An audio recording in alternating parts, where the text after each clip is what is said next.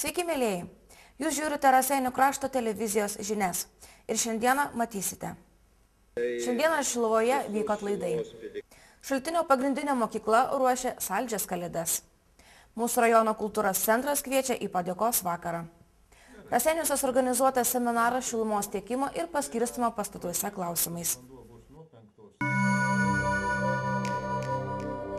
Kiekvieno mėnesio 13 dieną Šilovoje vyksta atlaidai. Švenčiama Marijos diena. Gruodžio 13 diena dviguba šventė Šiloviškiams. Pusiau 12 valandą, pusiau 2 valandą bus eglutės įžiebimas. Kadangi iki kalėdų jau nesusitiksime, tai visus Šiluvos piligrimus sveikinus su artėjančiom kalėdų šventėm, sutikite su ramybė, su džiaugsmu, su viltimi, va kaip per mišes.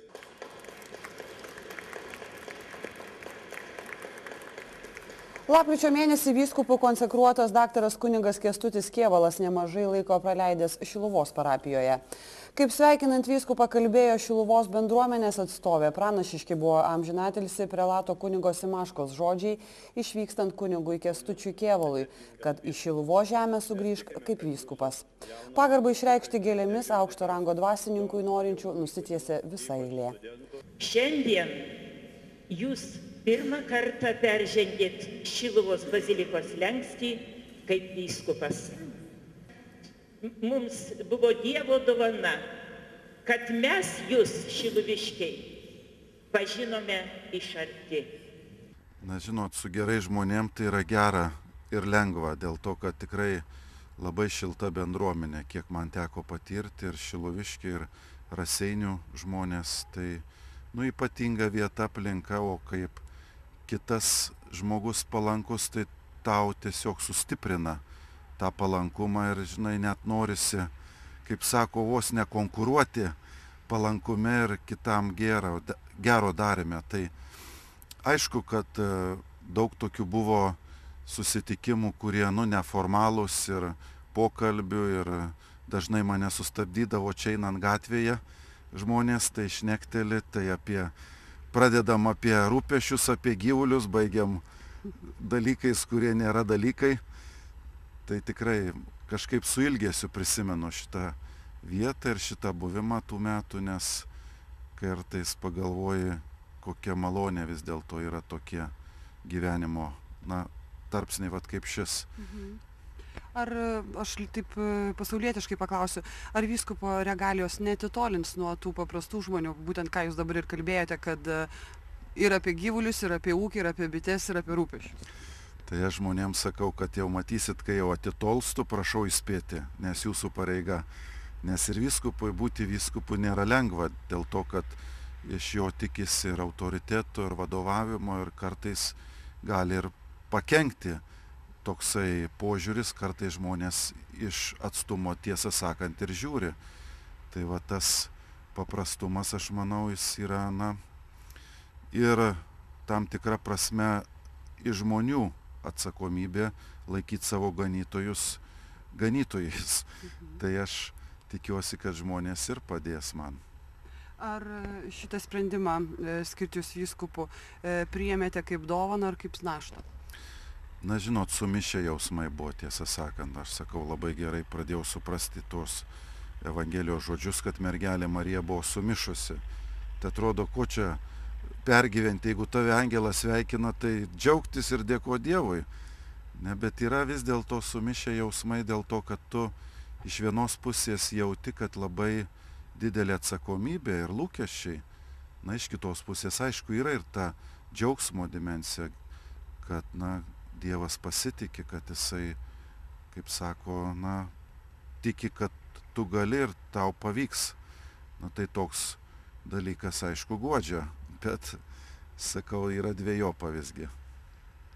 Neužmiršit Šiluvo žemės. Nu kaip užmiršti neįmanoma, čia gebėtlėjus Lietuvos aš vadinu, tai vis tiek reikia grįžti ir aišku, kad vis tiek ne kartą ir čia būsiu ir, ir tiesą sakant, ta tradicija dabar atvykti 13 dienom ir Šilovų, ir Šilovos atlaidų tradicija stiprėja vis e, su savo renginiais ir programa, tai aš manau, kad kažkokia nauja kaž, kultūra gimsta, tai man labai smagu atvykti.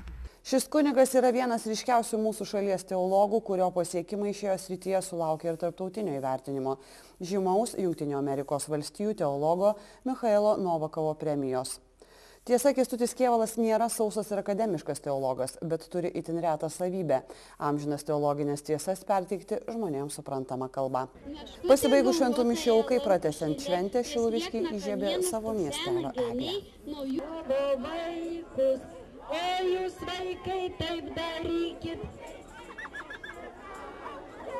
O jūs vaikai taip darykit, kaip senelis daro. Patripsim ir saugia, patripsim, prišalsit. Prišalsit prie sniego. Šią savaitę uždaroje akcinėje bendrovėje Raseinių šilumos tinklai lankėsi Danfos įmonės atstovai. Seminaras trukęs gerą pusdienį vyko ir praktiškai, ir teoriškai. Viename iš Vinco Grybo gatvės daugiabučių įmonės atstovai parodė, kaip atrodytų moderniai padarytas šiluminis mazgas, kuris leistų gyventojams sutaupyti iki 35 procentų šildymų išleidžiamų pinigų. Mini kompiuteris įrengtas šiluminėme mazge yra automatiškai sureguliuojamas, atsižvelgiant į pagidaujamą temperatūrą bute, taip pat į orą bei paros laiką. Vėliau svečiai buvo pakviesti Raseinių šilumos tinklų būstinėje, kurioje seminaras vyko teoriškai. Mes įvykdę pakankamai reikšmingus pertvarkymus katilinėse mūsų bazinėse bei atlikę trasų renovavimo du etapus, ko pasiekoje turime suminį virš 70 procentų trasų atnaujinimo rodiklį. Sekantis etapas, jis šiek tiek buvo paraleliai vykdomas būtent ir, ir anksčiau, tai yra darbai susiję su sistemomis inžinerinėmis instaliuotomis daugiabučiuose namuose ir kituose pastatuose. Tad kaip tik šiais metais mes su savaldybės finansinė parama pabaigėme šilumos punktų automatizavimą Raseinių mieste. Įdėgėme per pastaruosius tris metus virš 30 pastatų būtent naujus automatizuotus punktus ir dabar Raseiniai turi 100 procentinį automatizavimo lygį šilumos punktų. Tad buvo tikslas ją instaliavus tiek mūsų įmonės specialistams, tiek būtų ūkio specialistams, tiek namų atstovams, kurie rodo suinteresuotumą, kiek galima daugiau žinoti. Ir tikslas jų toks, kad išgauti ekonominį efektą mūsų vartotojams. Ir šio seminaro metu pranešėjai, lektoriai pakankamai plačiai atskleidė tas galimybės ir taip integruotai galime pasakyti, kad vidaus sistemose, šilumos punkto ir vidaus sistemų lygmenyje dar pastatai turi technologinį rezervą sutaupyti šilumos vartojimą net iki 20 procentų.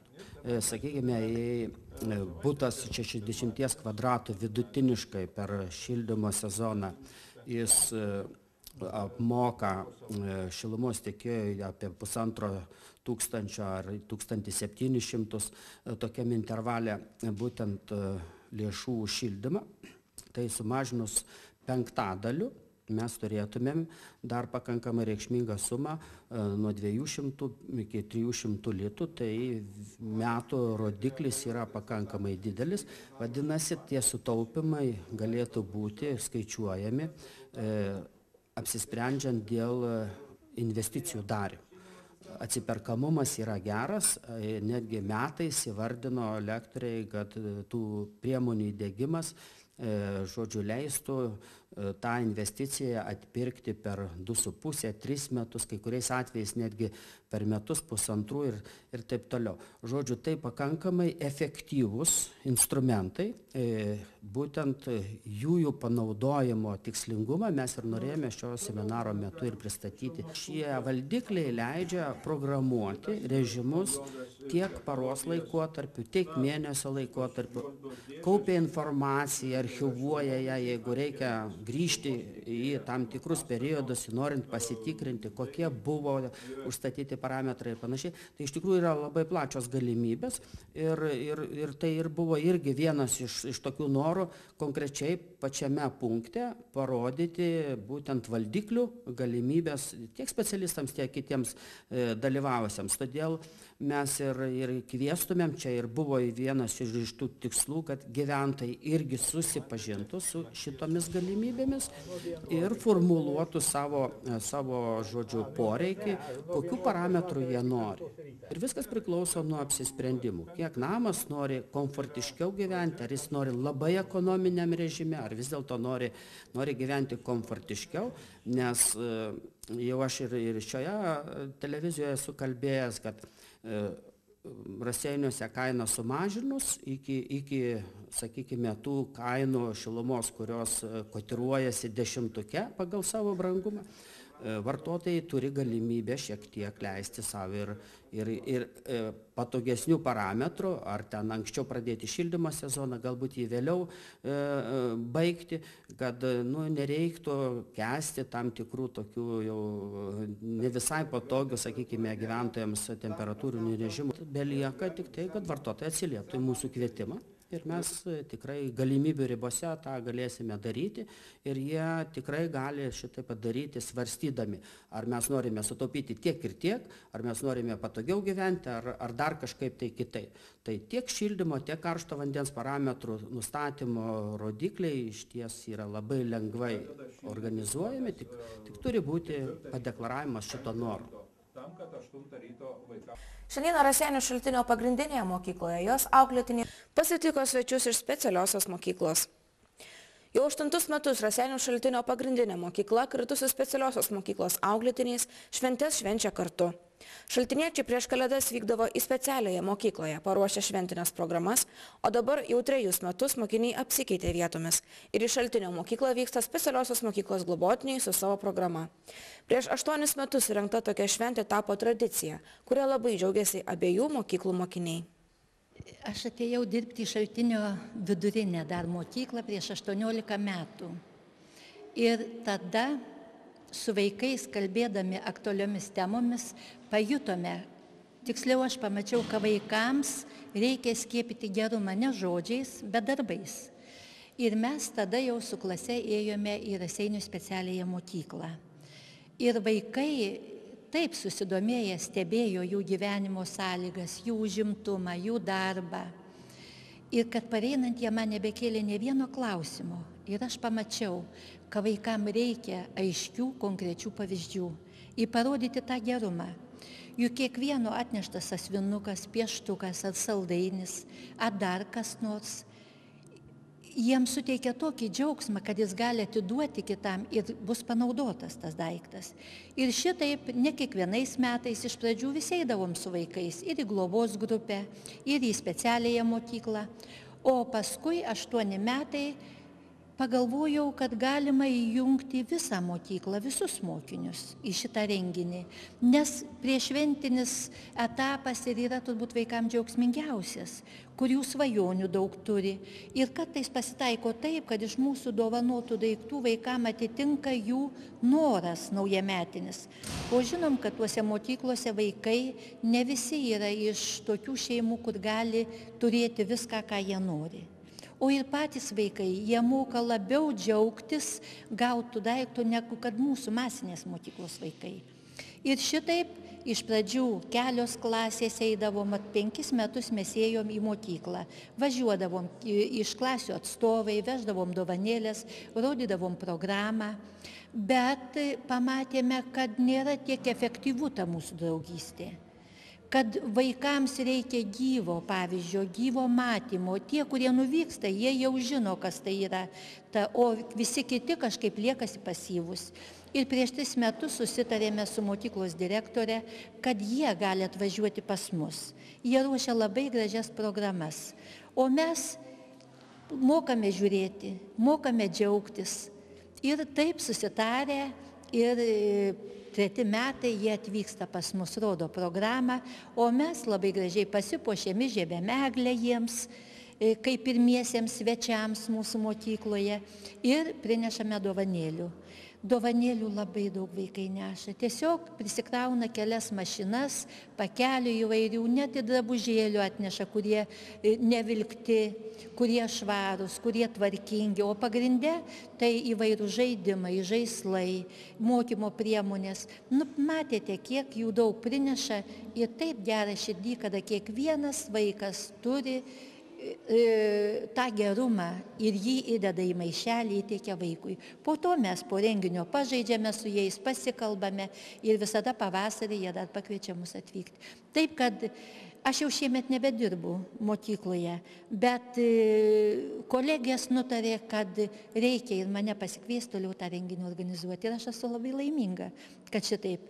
Ir e, aš tik tai atvykstu, susiderinam viską, darome, daro jau patys vaikai. Ir vaikai prieš naujus metus jau klausė, ar šiemet bus tokia akcija. O mums belieka tik daryti, argi galima nuvilti vaikus, juk ne. Tai mes ir darome tą renginį. Iškart po šventų kalėdų gruodžio 27 dieną esate laukiami Raseinių rajono kultūros centre, kuriame vyks padėkos vakaras. Toks padėkos vakaras mūsų krašte vyksta jau septintąjį kartą kuriame rajono kultūros centras dėkoja visiems, su kuriais gražiai ir sėkmingai bendradarbiauja ištisus metus. Tai jau septintasis padėkos vakaras. Galbūt e, ne vienam kyla klausimas, kodėl ta šventė, tas renginys vadinamas padėkos vakaru. Tai iš tikrųjų yra padėka mūsų steigėjui, padėka mūsų žiūrovams, padėka rėmėjams, padėka mūsų partneriams, draugams, be kurių e, paramos palaikymo dėmesio iš tikrųjų mes turbūt niekaip neišsiverstume. Dėl to mes jį vadinam padėkos vakaru. Na, o padėka kultūros darbuotojai be abejo gali išreikšti savo kūrybą, savo darbų, dovanodami šventinę nuotaiką, šventinį renginį visiems, kurie ateis pas mus 27 dieną 18 val. į kultūros centrą.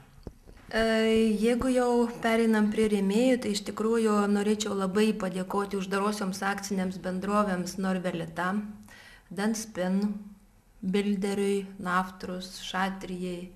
E, be jų norėčiau padėkoti ir mūsų informaciniams rėmėjams, tai mūsų rajono laikraščiams Alio Raseiniai, Naujas Rytas, rajono tinklapiams Raseiniškis LT, mano Raseiniai, Raseiniai EU, Raseinių krašto televizijai be jokios abejonės. E, mūsų partneriams, draugams, tai Raseinių policijos komisariatui, Raseinių komunaliniams paslaugoms, Raseinių rajono priešgaisriniai tarnybai, seniūnams, bendruomenių pirmininkams, švietimo įstaigoms, viešai bibliotekai, Rasteinių krašto istorijos muziejui, žodžiu, mm, kai pradedam galvoti apie tai, su kuo mes bendraujam, su kuo bendradarbiaujam, tai sunku turbūt atrasti tokią įstaigą, su kuria neturėtume vienokio ar kitokio ryšių. Sakykite, kokia renginio tematika? Renginio tema, o disko, o disko mes mylim tik tai disko. Turbūt jau pats pavadinimas sako, kad tai bus iš tikrųjų nuotaikingas renginys. Prisiminsim disko stilių, Gal visų paslapčių neatskleisiu, nes uh, norėčiau palikti intrigą ir uh, žiūrovai patys pamatys. tai, kas, tai, kas bus paruošta, ką, ką, ką išvys scenoje. Tai tiek naujieną mes jums norėjome parodyti šį kartą. Jūsų dėmesio lauksime rytoj tuo pačiu metu. Thank you.